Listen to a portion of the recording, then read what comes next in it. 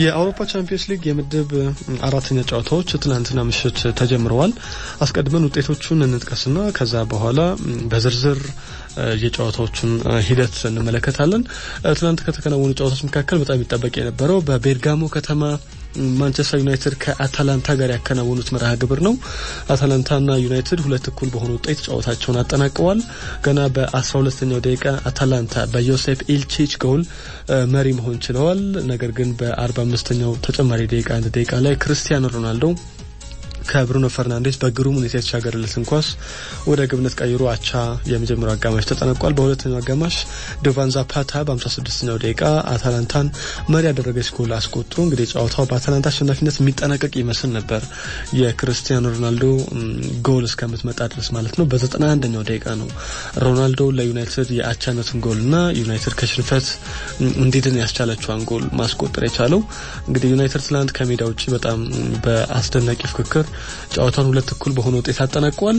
ከዛ ውጪ በዚህ ምድብ የተከናወነው ሌላኛው ጨዋታ በቪያሪያልና በያንግ ቦይስ መካከል ነው። ያንግ ቦይስ በቪያሪያል ሁለት ለዜሮ ተሸንፏል። ኤቲየን ካፑና አርናውት ዳንዩማ ሁለቱን ጎሎች ለኡናይ ኤሜሬ ቡድን ያስቆጠሩት ተጫዋቾች ናቸው። በመጨረሻው ምድብ የሚገኙት ዩቬንቱስና ቼልሲም ትናንትና ድል ቀንቷቸዋል። ዩቬንቱስ በአሊያንዝ ስታዲየም ነው ጨዋታውን ያከናወነው። ዜኔት ሴንት ፔተርስበርግን አራት ለሁለት አሸንፏል። ፓውሎ ዲባላ ሁለት ጎሎችን አስቆጥሯል። ፌዴሪኮ ኪየዛና አልቫሮ ሞራታ ቀሪ ጎሎችን ለዩቬንቱስ አስቆጥረዋል። ሊዮናርዶ ቦኑቺ በራሱ ላይ ሳርዳር አዝመውን ሁለተኛውን ጎል ለዜኔት ሴንት ፔተርስበርግ ያስቆጠሩ ተጫዋቾች ናቸው። ከዛ ውጪ ወደ ስዊድን ያመራው ቼልሲ በሀኪም ዚያች ብቸኛ ጎል ማልሞውን አንድ ለዜሮ አሸንፎ የተመለሰበት ውጤት ተመዝግቧል። በምድብ አምስት ደግሞ ወደ ኪየቭ ያመራው ባርሰሎና በአንሱ ፋቲ ብቸኛ ጎል ትላንትና ዲናሞ ኪየቭን አንድ ለዜሮ አሸንፏል። የመጀመሪያው የባርሰሎና ድል ሆኖ ተመዝግቧል። እንግዲህ በአሰልጣኝ ሮናልድ ኮማን እየተመሩ ተከታታይ ሽንፈት ገጥሟቸው ነበረ። ከሜዳቸው ውጭ ግን ትላንትና ዲናሞ ኪየቭን አሸንፈዋል። በእርግጥ በካምፕ ባለፈው በሶስተኛ ምድብ ጨዋታ ዲናሞ ኪየቭን በተመሳሳይ አንድ ለዜሮ አሸንፈው ነበር። ከሜዳቸው ውጭ ግን የመጀመሪያው ድላቸው ሆኖ ተመዝግቧል። በዚሁ ምድብ የተደረገው ሌላኛው ጨዋታ በባየር ሚኒክና በቤንፊካ መካከል ነው። ባየር ሚኒክ በአሊያንዝ አሬና ስታዲየም ቤንፊካን አምስት ለሁለት በሆነ ውጤት አሸንፏል። ሮበርት ሌቫንዶቭስኪ ሃትሪክ መስራት ችሏል። ይሄ ተጫዋች አሁንም በጣም ግሩም ጊዜ ማሳለፉን ቀጥሏል። ሰርጌ ናብሪና ሌሮይ ዛኔ ቀሪ ጎሎቹን ለዩሊያን ናግልስማን ቡድን አስቆጥረዋል። ፌሊፔ ሮድሪጎዝ ዳ ሲልቫና ዳርዊን ኑኔዝ የቤንፊካን ሁለት ጎሎች ያስቆጠሩ ተጫዋቾች ናቸው። ቮልፍስቡርግ አርቢ ሳልዝቡርግን ሁለት ለአንድ በሆነ ውጤት አሸንፏል። ሬደል ባኩና ሉካስ ኔሜቻ ሁለቱን ጎሎች ለቮልፍስበርግ አስቆጥረዋል። ማክሲሚሊያን ዎበር ደግሞ የሳልዝቡርግን ጎል በሰላሳኛው ደቂቃ በቅጣት ምት በጣም በአስደናቂ ሁኔታ ነው ማስቆጠር የቻለው። በሌሎች ጨዋታዎች ሴቪያ በሊል ሁለት ለአንድ ተሸንፏል። በሜዳው ነው የተሸነፈው። በራሞን ሳንቼዝ ፒዝሆን ለሴቪያ ሉካስ ኦካምፖስ ጎል አስቆጥሮ መሪ አድርጓቸው ነበር። ነገር ግን በሁለተኛው አጋማሽ ጆናታን ኢኮኔ ያስቆጠራት ጎል ሊልን አሸናፊ አድርጓል። ከእሱ አስቀድሞ በ43ኛው ደቂቃ ጆናታን ዳቪድ በፍጹም ቅጣት ምት ሊልን አቻ ማድረግ ችሎ ነበር። የአውሮፓ ቻምፒየንስ ሊግ የትላንትና የምድብ አራተኛ ጨዋታዎች ውጤቶች እነዚህ ናቸው። ትላንትና ምሽት ጨዋታዎችን በዝርዝር እንመልከታቸው እስኪ። የምድብ አምስት ላይ በተደረጉ ጨዋታዎች ስንጀምርና ባየር ሚኒክ ቤንፊካን አምስት ለሁለት ያሸነፈው። በጨዋታው ሮበርት ሌቫንዶቭስኪ ሀትሪክ መስራት የቻለ ተጫዋች ነው። ባየርን አራቱንም ጨዋታዎች በማሸነፉ ምክንያት በ12 ነጥቦች ወደ ቀጣዩ ዙር ማለፉን አረጋግጧል። እንግዲህ በአራት ጨዋታ 17 ጎሎችን አስቆጥሯል። የባየር ሚኒክ አስደናቂ የሚባል የውድድር ዘመን በቻምፒየንስ ሊግ እንደቀጠለ ነው። ባየር ሚኒክ ካስቆጠራቸው 17 ጎሎች መካከል ስምንቱን ሮበርት ሌቫንዶቭስኪን ያስቆጠረው የፖላንዱ የጎል ማሽን አሁንም በባየር ሚኒክ ጎል ማስቆጠሩን ቀጥሏል። በነገራችን ላይ ትላንት ፍጹም ቅጣት ምትም ስቷል። ተጨማሪ ጎል ማስቆጠር የሚችልበት እድል ነበር። ሌቫንዶቭስኪ መቶኛ የቻምፒየንስ ሊግ ጨዋታው ነው ትላንትና ያደረገው እና በመቶኛ የቻምፒየንስ ሊግ ጨዋታው እንግዲህ ሃትሪክ ሰርተዋል። በመቶ ጨዋታዎች በአጠቃላይ 81 ጎሎችን በውድድሩ ማስቆጠር ችሏል። ለባየር ሚኒክ እና ለቦሩሲያ ዶርትሙንድ ማለት ነው። እንግዲህ ከ81 ጎሎች መካከል አራቱ ሃትሪክ የሰራባቸው ጎሎች ናቸው። የተጫዋቹን ጥራት በደንብ የሚያሳዩ ጎሎች ናቸው። ከዛ ውጪ በቻምፒየንስ ሊጉ ዘንድሮ ከፍተኛ ጎል አስቆጣሪ ነው። በአራት ጨዋታ ስምንት ጎሎችን አስቆጥሯል። የአያክስ አምስተርዳሙ አጥቂ ይመራ ነበረ። አሁን ግን ሌቫንዶቭስኪ ተረክቦታል። በዚህ ውድድር ዘመን በአጠቃላይ በ18 ጨዋታ ለባየር ሚኒክ በሁሉም ውድድሮች ማለት ነው በሊጉ በቻምፒየንስ ሊግ እና በጥሎ ማለፍ ውድድሮች ጨምሮ በ18 ጨዋታ 22 ጎሎችን አስቆጥሯል። ሮበርት ሌቫንዶቭስኪ በጣም ጥሩ ጊዜን እያሳለፈ ነው የሚገኘው። እንግዲህ በቀጣይ ህዳር 20 የባሎንዶር አሸናፊው ዝርዝር ይፋ ሲደረግ ባየር ሚኒክ ኮከቡ ሮበርት ሌቫንዶቭስኪ ለመጀመሪያ ጊዜ የባሎንዶር ሽልማቱን ያገኛል የሚል ግምቶች አሉ በብዙዎች። ስለዚህ ሌቫንዶቭስኪ በዚህኛው የውድድር ዘመንም ጥሩ ጉዞን ማሳለፉን ቀጥሏል። ዲናሞ ኪየቭ ከባርሰሎና ያደረጉት ጨዋታ በኪየቭ የተከናወነ ጨዋታ ነው። በአንሱ ፋቲ ጎል ባርሰሎና አንድ ለዜሮ አሸንፎ ጨዋታውን አጠናቋል። ባርሰሎና በስድስት ነጥብ አሁን ከባየር ሙኒክ ቀጥሎ ሁለተኛ ደረጃ ላይ ተቀምጧል። እንደሚታወቀው በመጀመሪያ ሁለት ጨዋታዎቹ ባርሰሎና በባየር ሙኒክ ሶስት ለዜሮ በተመሳሳይ በቤንፊካም ሶስት ለዜሮ ተሸንፈው በጣም ደካማ የሚባል አጀማመር ነበር ያደረጉት። ትናንትና ግን ዲናሞ ኪየቭን በተከታታይ ሁለት ጊዜ በደርሶ መልስ አሸንፈው ስድስት ነጥብ መያዝ ችለዋል። በቀጣይ November 23 ከቤንፊካ ጋር በካምፕ ኑ ይጫወታሉ። ያንን ጨዋታ ባርሳ የሚያሸንፍ ከሆነ ወደ ቀጣይ ዙር ማለፉን የሚያረጋግጥ ነው የሚሆነው። የ19 ዓመቱ አንሱ ፋቲ ከጉዳት ነበር የተመለሰው። እንግዲህ ከጉዳት መልስ በትላንትና ጨዋታ ላይ ለባርሰሎና የማሸነፊያ ጎሉን ማስቆጠር ችሏል። ባርሳ ሰሞኑን ወይም ባለፈው ሳምንት አሰልጣኝ ሮናልድ ኩማን እንዳሰናበተ ይታወቃል። በሰርጂ ባርሆዋን እየተመሩ በጊዜ አሰልጣኛቸው ትናንት በቻምፒየንስ ሊግ የመጀመሪያ ድላቸውን ማስመዝገብ ችለዋል። ወደ ምድብ ስድስት ስናልፍ አታላንታና ማንቸስተር ዩናይትድ ያከናወኑ ጨዋታ ቤርጋሞ ላይ የተከናወነው መርሃ ግብር ሁለት ለሁለት በሆናቸው ውጤት ተጠናቋል። ትናንትና ማንቸስተር ዩናይትድ እንግዲህ አስቀድሞ ጎል ተቆጥሮበታል። በሁለተኛው አጋማሽ ግን አገግሞ ጨዋታውን ሁለት እኩል እንዲጠናቀቅ ማድረግ ችሏል። ክርስቲያኖ ሮናልዶ ማለት ነው ጎሎቹን አስቆጥሯል። እንግዲህ በኦልድትራፎርድ በተደረገው ጨዋታ አታላንታ ሁለት ለዜሮ እየመራ ከዛ በኋላ ነበር ዩናይትድ ሶስት ለሁለት ያሸንፈው በሮናልዶ ጎሎችና በማጓየር እንደዚሁም ደግሞ ራሽፎርድ ባስቆጥሯቸው ጎሎች። በትናንትናውም ጨዋታ እንግዲህ ከአንድ ለዜሮ ከመመራት ተነስቶ ነው ዩናይትድ በመጨረሻ ደቂቃ በሮናልዶ ጎል አቻ መውጣት የቻለው። ዩናይትድ ትላንት ማሸነፉን ተከትሎ በሰባት ነጥብ የምድቡ መሪነት ላይ ተቀምጧል። በቀጣይ ከቪያሪያል ጋር በሚያደርገው ጨዋታ የሚያሸንፍ ከሆነ ወደ ቀጣዩ የጥሎ ማለፍ ዙር የሚቀላቀል ይሆናል።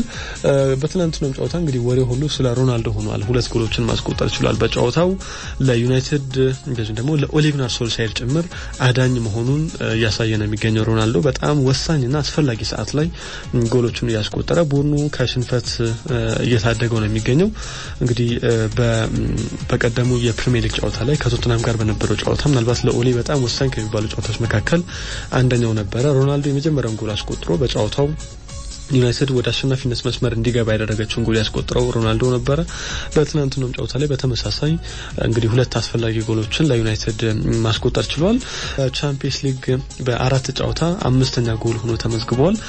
ሁለቱ በመጨረሻው ደቂቃ ያስቆጠራቸው የአስፈላጊ የማሸነፊያ ጎሎች ነበሩ። አንደኛው ከቪያሪያል ጋር እንደዚሁም ከአታላንታ ጋር በኦልድትራፎርድ በተደረገው ጨዋታ ላይ ጎሎችን ሮናልዶ ነበር ያስቆጠረው። ከዛ ባሻገር የመጨረሻው ደቂቃ ላይ ደግሞ የአቻነት ጎል በአታላንታ ላይ ያስቆጥሯል እና የነዚህ ጎሎቹ አስፈላጊነት በጣም ወሳኝ እንደሆነ የሚያሳዩ ጎሎችን ያስቆጠረው ሶስት ጨዋታዎች ለማንቸስተር ዩናይትድ በሁሉም ውድድሮች ሮናልዶ 127ኛ ጎሉን አስቆጥሯል። የኦሌ ሶልሻየርን ሪከርድ መብለጥ ችሏል። እንግዲህ ብዙ ጎሎችን በማስቆጠር ማለት ነው።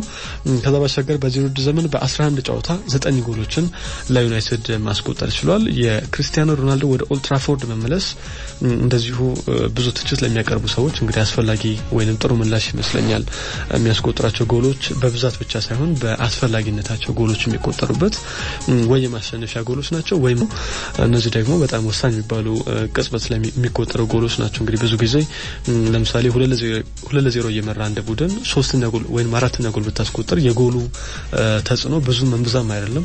የማሸነፊያ ጎል ወይም የአቻነት ጎል ስታስቆጥር ወይም መሪነት ላይ ጎል ስታስቆጥር ግን በጣም ለቡድኑ አስፈላጊ ነው የሚሆነው። እንግዲህ የሮናልዶ ጎሎች በዚህ መንገድ ነው ሊገለጹ የሚችሉት።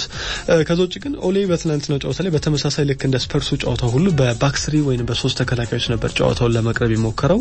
በቋሚ አሰላለፍ ውስጥ ራፋኤል ቫራን፣ ሃሪ ማጓየር እና ኤሪክ ባይ ነበሩ በቋሚነት የተሰለፉት። ነገር ግን 38ኛው ደቂቃ ላይ ራፋኤል ቫራን ጉዳት አጋጥሞ ተቀይሮ ሲወጣ በሱ ቦታ ሜሰን ግሪንውድ ነበር የገባውና እሱን ጉዳቱን ተከትሎ የኦሌ ጉናር ሶልሻየር የአሰላለፍ አሰላለፍ formation ኑም እንደዚሁ ተቀይሯል። ወደ back four ተመልሶ ኤሪክ ባይ ከሀሪ ማጓየር ጋር መሀል ተከላካይ ላይ ተጣምሮ ሉክ ሾውና አሮን ዋን ቢሳካ በቀኝና ግራ ተመላላሽ ቦታ ላይ ነበር የተሰለፉትና የራፋኤል ቫራን ጉዳት ደግሞ አሁን ለኦሌ ጉናር ሶልሻየር ቡድን በጣም አሳሳቢ ይመስላል። በዚሁ ምድብ ቪያሪያል በሜዳው ትናንትና ያንግ ቦይስን ሁለት ለዜሮ አሸንፈዋል። ኤቲየን ካፑና አርናውት ዳንዩማ ሁለቱን ጎሎች ያስቆጠሩ ተጫዋቾች ናቸው። የኡናይ ኤመሪ ቡድን ቪያሪያል በሰባት ነጥብ ምድቡን ከዩናይትድ ጋር እኩል ሰባት ነጥብ ይዞ እየመራ ነው የሚገኘው። ነገር ግን በግብ ክፍያ ተበልጦ ሁለተኛ ነው። በተመሳሳይ ዩናይትድ ቪያሪያልን ስላሸነፈ ማለት ነው። በእርስ በርስ ግንኙነት አትላንታ አምስት ነጥብ አለው። ያንግ ቦይስ በሶስት ነጥብ ተከታዮችን ደረጃዎች ይዘዋል። ምድብ ሰባት ላይ ሴቪያና ሊል ያከናወኑ ጨዋታ በሊል ሁለት ለአንድ አሸናፊነት ተጠናቋል። እንግዲህ ሴቪያ ትላንት በሜዳው ነው በራሞን ሳንቼዝ ፒዝሁዋን ሽንፈት የገጠመው። ሉካስ ኦካምፖስ ጎል አስቆጥሮ መሪ አድርጓቸው ነበር። ነገር ግን ጆናታን ዳቪድ እና ጆናታን ኢኮኔ ለሊል ሁለቱን ጎሎችን አስቆጥረው እንግዲህ ሴቪያ በሜዳው እንዲሸነፍ ምክንያት ሆኗል። የትላንትናው የሴቪያ ሽንፈት ለቡድኑ በጣም መጥፎ ውጤት ነው። ምክንያቱም በደረጃ ሰንጠረዡ ያላቸው ደረጃ በጣም ደካማ ነው። አሁን በሶስት ነጥብ የመጨረሻው ደረጃ ላይ ተቀምጧል። ትናንትና በሜዳቸው መሸነፋቸውን ተከትሎ ከዛ ውጭ ቮልፍስቡርግ በሜዳው አርቢ ሳልዝቡርግን ሁለት ለአንድ በሆነ ውጤት አሸንፈዋል። የመጀመሪያ እድላቸው ሆኖ ተመዝግቧል። ለቮልፍስቡርግ ባለፈው ሳምንት አሰልጣኛቸውን ማርክ ቫን ቦሜልን ማሰናበታቸው ይታወቃል። እንግዲህ በአዲስ አሰልጣኝ የተመሩ ትናንት የመጀመሪያ ቻምፒየንስ ሊግ ድላቸውን አስመዝግበዋል። ምድብ ስምንትን አርቢ ሳልዝቡርግ በሰባት ነጥብ ይመራል። ሊል በአምስት ቮልፍስቡርግ በአምስት ሰቪያ በሶስት ነጥብ ይከተላሉ። ከዚህ ምድብ እንግዲህ ማን ነው የሚያልፈው የሚለውን በቀጣይ ሁለት ጨዋታዎች ነው መለየት የሚቻለው። ከወዲሁ ጠንካራ ፍክክር የሚደረግበት ምድብ ይመስላል። ምድብ ስምንት ላይ ማልሞ ከቼልሲ ያከናወኑ ጨዋታ ስዊድን ላይ ተከናውኖ ነበረ። ቼልሲ በሀኪም ዚያች ብቸኛ ጎል አንድ ለዜሮ አሸንፏል። ቼልሲ በቀጣይ አንድ ነጥብ የሚያገኝ ከሆነ ወደ ቀጣይ ጥሎ ማለፍ ዙር የሚቀላቀል የሚሆነው አሰልጣኝ ቶማስ ቱኬል በትናንትናውም ጨዋታ ላይ ብዙ የተጫዋች ለውጦችን አድርገው ነው የገቡት። በተለይ የወሳኝ ተጫዋቾቻቸው አሁን ጉዳት ላይ እንደሚገኙ ይታወቃል። እንደ ሜሰን ማውንት፣ ሮሜሎ ሉካኩ እንደዚሁም ደግሞ ቲሞ ቨርነር ጉዳት ላይ ናቸው። ትናንትና በሀኪም ዚያች የፊት መስመር አጥቂነት ነው ጨዋታውን ያደረጉት። እንግዲህ ትናንትና ተቸግሮ ቢሆንም ቼልሲ አንድ ለዜሮ አሸንፏል። በተለይ የማልሞ ተከላካይ መስመር በቀላሉ ጎል እንዳያስቆጥሩ ከልክሏቸዋል። ቼልሲ በትናንትናው ጨዋታ ላይ እንግዲህ በመከላከሉ ረገድ በጣም አስደናቂ ነበሩ። በተለይ ክርስቲያንሰን የቼልሲ ቁልፉ የተከላካይ መስመር ተጫዋች ሆኖ አምሽቷል። በትናንትና ጨዋታ ላይ የስዊድኑ ክለብ ማልሞ አንድም ኢላማውን የጠበቀ ሙከራ ሳያደርጉ ነው ጨዋታውን ያጠናቀቁት። እንግዲህ ቼልሲ ተከላካይ መስመሩ ላይ በጣም ጠንካራ አደረጃጀት እንደፈጠረበት ቶማስ ቱሄል ስር የሚያሳይ ነው። በተከታታይ ብዙ ጨዋታዎች ላይ ኤድዋርድ ሜንዲ ግቡን ሳያስደፍር ነው ጨዋታዎችን እያጠናቀቀ የሚገኘው። ከዛ ውጭ በቼልሲ በኩል የአማካይ ክፍል ቦታ ተጫዋቹ ሩበን ሎፍተስ ቺክ በአውሮፓ ቻምፒየንስ ሊግ ለመጀመሪያ ጊዜ ከ2015 መስከረም ወር በኋላ ለቼልሲ የመሰለፍ እድል አግኝቷል። ከስድስት ዓመታት በኋላ ማለት ነው እና ረዥም ጊዜ በቼልሲ የአውሮፓ ቻምፒየንስ ሊግ ስብስብ ውስጥ መካተት አልቻለም ነበር። ከዛ ውጪ የሀኪም ዚያች ጎል ማስቆጠርን ተከትሎ በአውሮፓ ቻምፒየንስ ሊግ ውድድር ብዙ ጎሎችን በማስቆጠር የሞሮኮ ሁለተኛው ተጫዋች ሆኗል። በእርግጥ ከማርዋን ሻማክ ጋር ነው እኩል የሆነው። ስምንተኛ ጎል ሆኖ ተመዝግቧል ለሀኪም ዚያች በቼልሲና በአያክስ አምስተርዳም በነበረባቸው ጊዜ ያስቆጠራቸው ጎሎች ናቸው። ሀኪም ዚያች አሁን ስምንት ጎሎችን አስቆጥሯል። ማርዋን ሻማክ የቀድሞ የአርሰናል አጥቂም በተመሳሳይ ስምንት ጎሎች አሉት። የሴቪያው ዩሱፍ ኤንስሪ ስድስት ጎሎችን አስቆጥሯል። የፓሪስ ሰን ጀርመኑ አሽራፍ ሀኪሚ አራት ጎሎች አሏቸው። ስለዚህ ከሞሮኮ ተጫዋቾች መካከል በአውሮፓ ቻምፒየንስ ሊግ ብዙ ጎሎችን ያስቆጠሩት እነዚህ ተጫዋቾች ናቸው። ዩቬንቱስ ከዜኒት ሳንት ፔተርስበርግ በአሊያንዝ ስታዲየም ቱሪ ላይ የተከናወነ ጨዋታ ነው። ዩቬንቱስ አራት ለሁለት አሸንፏል። ፓውሎ ዲባላ ሁለት ጎሎችን አስቆጥሯል። አንደኛው በፍጹም ቅጣት ምት ያስቆጠረው ነው። ፌዴሪኮ ኪየዛ እና አልቫሮ ሞራታ ደግሞ ቀሪ ጎሎቹን ለማሲሚሊያኖ አሌግሪ ቡድን ዩቬንቱስ አስቆጥረዋል። ዩቬንቱስ በምድብ ስምንት እንግዲህ አራቱንም ጨዋታዎች አሸንፎ ቼልሲን ጭምር አሸንፎ እንደነበር ይታወሳል። ወደ ጥሎ ማለፈው መግባቱን አረጋግጧል። እንግዲህ አንደኛ ሆኖ ለማለፍ ግን በቀጣይ በተለይ ከቼልሲ ጋር ጠንካራ ፍክክር ይጠብቀዋል። በስታንፎርድ ብሪጅ የመልስ ጨዋታ ይኖራቸዋል። ስለዚህ ዩቬንቱስ በ12 ነጥብ አራቱንም ጨዋታዎች በማሸነፍ ወደ ቀጣይ ዙር አልፏል። ዩቬ በትናንትናው ጨዋታ ላይ በጣም ጥሩ ሲንቀሳቀሱ ነበር። በተለይ በተከታታይ ሁለት የሴሪያ ጨዋታዎች ላይ መሸነፋቸውን ተከትሎ አሰልጣኝ ማሲሚሊያኖ አሌግሪ ጫና ውስጥ ነበር የሚገኙ ተጫዋቾቻቸውን ጭምር ሲተቹ ነበር። በሳሶሎ እንደዚሁ ደግሞ በሄላስ ቬሮና በተከታታይ በሴሪያው ዩቬ ሽንፈት ገጥሞታል። አሁን ከመሪዎቹ ጋር ያለው ልዩነትም በጣም ሰፍቷል። ደረጃ ሰንጠረዡ አጋማሽ ላይ አካባቢ ነው የሚገኘው ዩቬንቱስ በሴሪአውና በአውሮፓ ቻምፒየንስ ሊግ እንግዲህ ትናንትና ጥሩ ምላሽ ሰጥተዋል። ተጋጣሚያቸው ዛይነት ሴንት ፔተርስበርግን በደርሶ መልስ አሸንፈው በ12 ነጥቦች ቀጣዩን ዙር መቀላቀላቸውን አረጋግጠዋል። ዛሬ ምሽት የአውሮፓ ቻምፒየንስ ሊግ ጨዋታዎች ቀጥለው ይደረጋሉ። መርሃ ግብሮቹን እንጠቁማቸው። ኤሲ ሚላን ከፖርቶ ምሽት ሁለት ሰዓት ከ45 በሳንሲሮ ጁሴፔ ሜአዛ የሚከናወን ጨዋታ ነው። ሪያል ማድሪድ ከሻክታር ዶኔስክ በሳንቲያጎ ቤርናቢው በተመሳሳይ ምሽት ሁለት ሰዓት ከ45 ሲል የሚጀመር መርሃ ግብር ነው። ሌሎቹ ስድስት ጨዋታዎች ግን ከምሽቱ አምስት ሰዓት ጀምሮ የአውሮፓ ቻምፒየንስ ሊግ የምድብ አራተኛ ጨዋታዎች የሚደረጉ ነው የሚሆነው። ማንቸስተር ሲቲ በሜዳው ኤቲሃድ ከክለብ ብሩዥ ከቤልጅየሙ ክለብ ጋር ጨዋታውን የሚያከናውን ይሆናል። አርቢ ላይፕዚግ በሜዳው ሬድ ቡል አሬና ከፓሪስ ሰን ጀርመን ጋር ከምሽቱ አምስት ሰዓት ጨዋታውን ያደርጋል። ስፖርቲንግ ሊዝበን ቤሲክታሽን በሜዳው የሚያስተናግድበት ጨዋታም የሚከናወን ይሆናል። በጆዜ አልቫላዴ ነው የሚደረገው።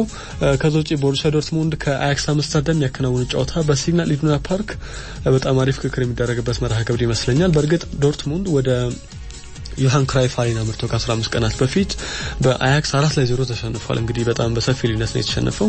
ዛሬ የማርኮ ሮዛ ቡድን ለዚህ ሽንፈትና ለአያክስ ሽንፈቱ ምላሽ የሚሰጥበት መርሃ ግብር እንደሚሆን ይጠበቃል። ሊቨርፑል ከአትሌቲኮ ማድሪድ በጣም ትልቁ ጨዋታ ነው ዛሬ የሚደረገው። በአንፊልድ ነው የሚከናወነው ይሄ ጨዋታ። እንግዲህ ከጥቂት ጊዜያት በፊት ሁለቱ ክለቦች በቻምፒየንስ ሊግ ተገናኝተው አትሌቲኮ በደርሶ መልስ ሊቨርፑልን አሸንፎ ከውድድር እንዳስወጣ ይታወቃል። በተለይ በአንፊልድ ጭምር በሁለት ለአንድ አሸንፎት እንደነበረ ይታወቃል እና ያንን ሽንፈት እያሰቡ ሊቨርፑል ዛሬ ከአትሌቲኮ ጋር ጨዋታ ያደርጋሉ። በሊቨርፑል በኩል ናቢ ኬታ በጉዳት ምክንያት አይሰለፍም። ከዛ ውጭ ግን ፋቢኒሆና ቲያጎ አልካንታራ ወደ ሜዳ መመለሳቸውን የርገን ክሎፕ አረጋግጠዋል። በአትሌቲኮ በኩል አሰልጣኝ ዲዬጎ ሲሚዮኔ የአጥቂ ቦታ ተጫዋቹን አንቷን ግሪዝማንን በቅጣት ምክንያት አይሰልፍም። ከዛ ውጭ ቶማ ለማም ቶማስ ሌማር በዛሬ ጨዋታ ላይ እንደዚሁ ለአትሌቲኮ በጉዳት ምክንያት እንደማይሰለፍ ታውቋል። በዚህ ጨዋታ ላይ እንደነው የሚጠበቀው ጉዳይ የዲየጎ ሲሞኔና የየርገን ክሎፕ ጉዳይ ነው። በዋንዳ ሜትሮፖሊታኖ በተደረገው ጨዋታ ላይ ሊቨርፑል አትሌቲኮን ካሸነፈ በኋላ ዲየጎ ሲሞኔ የርገን ክሎፕን ሳይጨብጣቸው ነበር ወደ መልበሻ ክፍል የገባውና እንዴት አልጨበጣቸውም በሚል እንግዲህ በስፋት መነጋገሪያ ጉዳይ ነበረ። ከዛ በኋላም አስተያየት የሰጡበት ጉዳይ ነበር ጭምር። እንደውም ሲሞኔ አንድ አሰልጣኝ ከተሸነፈ በኋላ ለምንድን ነው የሚጨባበጠው የሚል አስተያየትን ሰጥቶ ነበር። ይሄ ብዙ የተለመደ አይደለም ስፔን ውስጥ። እኔ ብዙ ጊዜ እንደዚህ ነው የማደርገው ከተሸነፉ ወይም ጨዋታው ካለቀ በኋላ ሳልጨብጥ ነው ወደ መልበሻ ክፍል የምገባው በሚል አስተያየት ሰጥቶ ነበረ።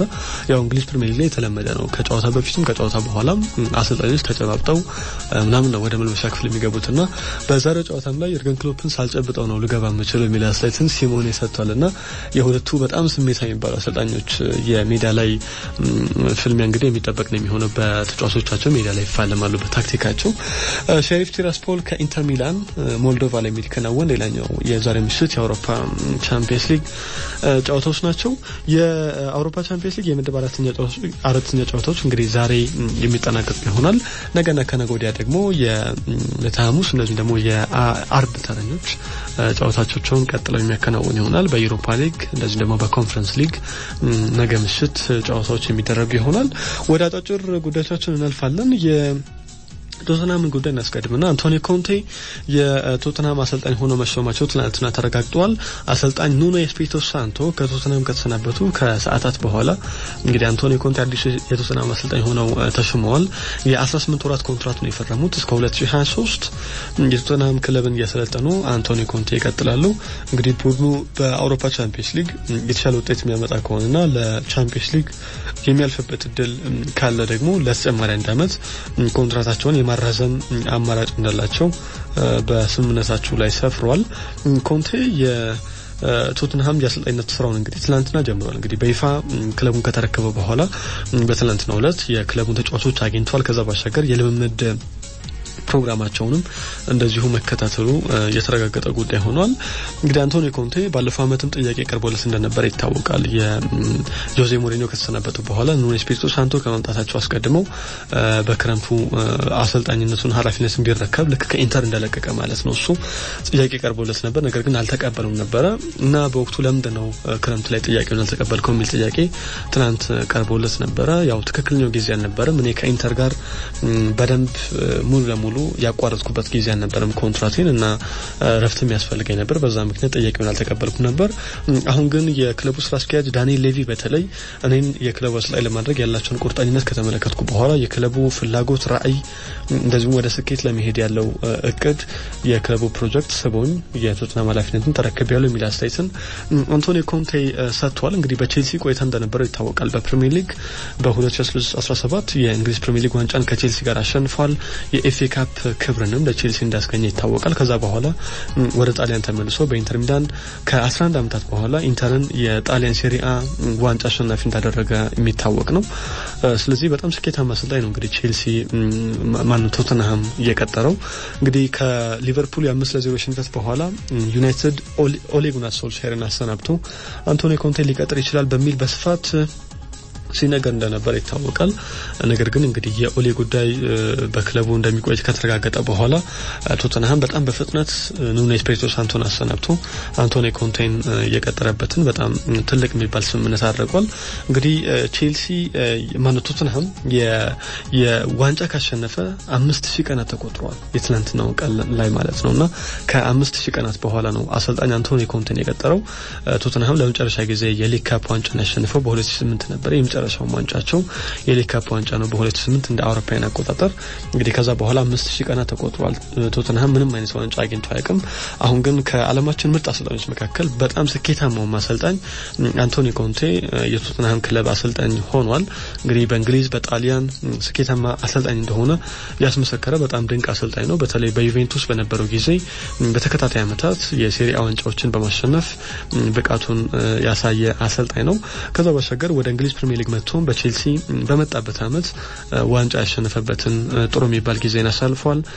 ከዛ ውጭ ግን በኢንተር ሚላንም እንደዚሁ በዩቬንቱስ ከፍተኛ ብልጫ ወስዶበት የነበረውን ኢንተር ሚላን ወደ ክብር የመለሰው አሰልጣኝ አንቶኒ ኮንቴ አሁን ቶተንሃምን የተረከበበትን አስደናቂ ውጤት ማስመዝገብ ኃላፊነት መረከብ ችሏል። እንግዲህ ከትልልቆቹ ክለቦች አስቀድሞ ግን አንቶኒ ኮንቴ በተለይ በታችኛው የሴሪ ቢ ዲቪዚዮን ስኬታማ የሚባል ጊዜን በማሳለፍ ነው ወደ ትልልቅ ክለቦች የተዛወረው። በተለይ በ2008/9 የውድድር ዘመን ባሪ የተባለውን ክለብ ከሴሪ ቢ ወደ ሴሪ አ ማሳደግ ችሏል። በ2010/11ም በተመሳሳይ ሲዬናን ወደ ሴሪ አ ያሳደገ አሰልጣኝ ነው። ከዛ በኋላ ግን በተለያዩ ክለቦች ስኬታማ የሚባል የአሰልጣኝነት ጊዜን አሳልፏል። ከዛ ውጭ ግን ለፖል ፖግባ አሁን ላይ ላለበት ጥሩ ብቃት ማሳየትና ከዓለማችን ምርጥ አማካዮች መካከል አንዱ ለመሆኑ አንደኛው ምክንያትም አሰልጣኝ አንቶኒ ኮንቴ ነው። በተለይ በ2012 ከዩናይትድ ወደ ዩቬንቱስ በነጻ ዝውውር ካመራ በኋላ ለሱ የሚስማማውን ቦታ በማዘጋጀትና የእሱን ምርጥ ብቃት አውጥቶ እንዲጫወት የሚያስችል የጨዋታ መንገድ በመፈለግ ረገድም የአሰልጣኙ ሚና በጣም ትልቅ ነበረ ለፖግባ እና በዩቬንቱስ አንደኛው የፖግባ ስኬታማ መሆኑና በኋላም በ89 ሚሊዮን ፓውንድ በነጻ ያመጡትን ተጫዋች እንዲሸጡ ያገዛቸው አንቶኒ ኮንቴ ከዛ ውጭ በዩናይትድ የተገፉትን ተጫዋቾች ሰብስቦ ባለፈው ዓመት በኢንተር ሚላን ስኬታማ እንደሆነ ይታወቃል። አሽሊ ያንግ፣ አሌክሲስ ሳንቼዝ፣ ሮሜሎ ሉካኩ እንግዲህ በዩናይትድ አይፈለጉም ተብሎ ከተገፉ በኋላ በሴሪአ ሻምፒዮን እንዲሆኑ ያገዛቸው አሰልጣኝ ነው እና ከዛ ውጭ ግን በተጫዋች ማሻሻል ደረጃ ብቻ ሳይሆን እንደ ቡድንም እሱ በሚጫወትበት የጨዋታ መንገድ ቡድን ወደ አሸናፊነት የሚመራ የጨዋታ መንገድን በመፍጠር ረገድ አሰልጣኝ አንቶኒ ኮንቴ ለቶተንሃም እንግዲህ በጣም ትልቅ ኃላፊነት ተደርጎ የተጠቀሰ ነው የሚገኘው። ቶተንሃም ወደ ተፎካካሪዎቹ ደረጃ ለመምጣት እንግዲህ ትልቅ እርምጃን ተራምዷል በሚል እየተወደሰ ነው የሚገኘው። በተለይ አሁን የሚጠበቀው አንደኛው ጉዳይ የሀሪኬንን ጉዳይ ነው። ሀሪኬን በጣም ብቃቱ እንደወረደ ይታወቃል። በተለይ ካለፈው ክረምት ጀምሮ ወደ ሲቲ ሊዛወር በጣም ተቃርቦ በነበረበት የዝውውር እክል ምክንያት ብዙ ደስተኛ አይመስልም በቶተንሃምና እስካሁን ድረስ ብቃቱን አውጥቶ መጫወት አልቻለም። በፕሪሚየር ሊጉም አንድ ጎል ብቻ ነው እስካሁን ድረስ ያስቆጠረውና የአንቶኒ ኮንቴ መምጣት የሀሪኬንን ብቃት በማሻሻል ረገድ በጣም ትልቅ አስተዋጽኦ ይኖረዋል በሚል የሀሪኬንን የቀድሞ ብቃት እንዲያገኝ ያግዘዋል የሚለው ጉዳይ አንደኛው የሚጠበቅ ነው። ትናንት ከአንቶኒ ኮንቴ ከሽመቱ በኋላ ሀሪኬን ከዓለማችን ምርጥ ተጫዋቾች መካከል አንዱን የሚል አስተያየትን ሰጥቷል እና በቀጣይ በተለይ ከሶን ሄung-min ጋር የሚፈጥሩት ጥምረት የሚጠበቅ ነው። በጥር የዝውውር መስኮት ደግሞ እንግዲህ ተጨማሪ ዝውውሮችን ያደርጋል ተብሎ ይጠበቃል። ለክለቡ ቶትንሃም የክለቡ ሊቀመንበር ዳንኤል ሌቪም ከመቶ ሚሊዮን ፓውንድ በላይ አሰልጣኝ አንቶኒ ኮንቴ የሚፈልጋቸውን ተጫዋቾች ወደ ክለቡ እንዲያመጣ እንግዲህ ገንዘብ እንዳዘጋጁለት ነው እየተነገረ የሚገኘው። ወደ አጫጭር ጉዳዮች ስናልፍ ክርስቲያኖ ሮናልዶ እንመልከት። ትናንትና የማንቸስተር ዩናይትድ የጥቅምት ወር ኮከብ ተጫዋች ተብሎ ለተከታታይ ሁለተኛ ወር ተመርጧል። የክለቡ ደጋፊዎች በሰጡት ድምጽ መሰረት 57 በመቶ ድምጽ የዩናይትድ ደጋፊዎች ሮናልዶ የወሩ ኮከብ ነው ብለው መርጠውታል። ግብ ጠባቂው ዳቪድ ደሂያ 30 በመቶ ድምጽ አግኝቷል። ማርከስ ራሽፎርድ 13 percent ድምጽ አግኝቶ ሶስተኛ ላይ ተቀምጧል። እንግዲህ በጥቅምት ወር በአራት ጨዋታ ሁለት ጎሎችን አስቆጥሯል ሮናልዶ። ያንን ተከትሎ የክለቡ የወሩ ኮከብ ተጫዋች ተብሎ በተከታታይ ሁለተኛ ጊዜ ተመርጧል። አርሰናልም የጥቅምት ወር ምርጥ ተጫዋች እጩዎቹን ይፋ አድርጓል። ኤሚል ስሚዝ ሮው፣ ጋብሪኤል ማጋላይሽ፣ ፒየር ኤሜሪክ ኦባሚያንግ እና ግብ ጠባቂው አሮን ራምስዴል በእጩነት ዝርዝር ውስጥ ተካተዋል። ባለፈው ወር ታኬሂሮ ቶሚያሱ የጃፓናዊ ተከላካይ የወሩ ኮከብ ተብሎ ተመርጦ እንደነበረ ይታወቃል። ከዛ ውጪ የማንቸስተር ደርቢ ቅዳሜ ነው የሚደረገው። በዘጠኝ ሰዓት ተኩል ይከናወናል እና ይህን ጨዋታ የሚመሩት ማይክል ኦሊቨር እንደሆኑ ትናንትና ተረጋግጧል። ከዛ ውጪ ባርሰሎና ሰርጆ ኩን አጉዌሮ ለቀጣይ ሶስት ወራት ወደ ጨዋታ ሊመለስ እንደማይችል እንደዚሁ ታውቋል። በቀደም ከአላቬስ ጋር በተደረገው ጨዋታ ከመተንፈሻ ጋር የተገናኘ ችግር አጋጥሞታል እና በዛ ምክንያት እስከ ሶስት ወራት ከሜዳ እንደሚርቅ ተነግሯል።